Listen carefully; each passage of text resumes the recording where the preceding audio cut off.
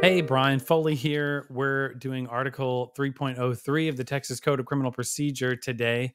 Um, this one's going to be really short, guys. It's so funny to me sometimes these sections that everybody, I guess all the lawyers who were writing the Code of Criminal Procedure back in 1965 felt like we needed this. Article 3.03 Officers. The general term officers includes both magistrates and peace officers. Thank you. Thank you, Texas Code of Criminal Procedure, for making that so clear. Why would they use officers to refer to either a judge or a peace officer? I'm not, I, I really don't know. A, a, magistrate means a judge.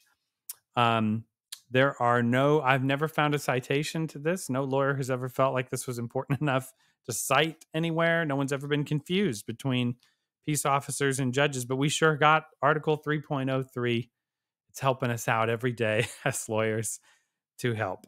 Um, if you have any idea what you think this means, uh, if there's a good distinction here, I suppose you know there are uh, there are instances where public servants you get a, a, an assault on a public servant.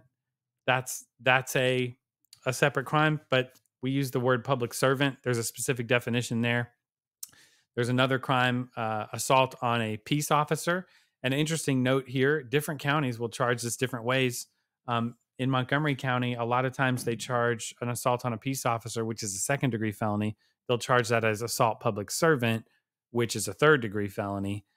Um, and I'm not sure why that happens all the time either, but it's to the benefit of most of our clients. So, um, you know, we don't complain about about that. And uh, I guess this is more of a complaint video for me you know, come on, Texas legislature, what are we doing with Article 3.03 definition of officers? If you've got an answer to this, I'd love to hear it. And we'll see if we think that's uh, worthy of its own statute. But it is worthy of its own video because we're going over the whole Texas Code of Criminal Procedure. And I'm here uh, to explain it to you guys. So if you read this and you thought it was dumb, I agree. And we'll see you next time. Thank you.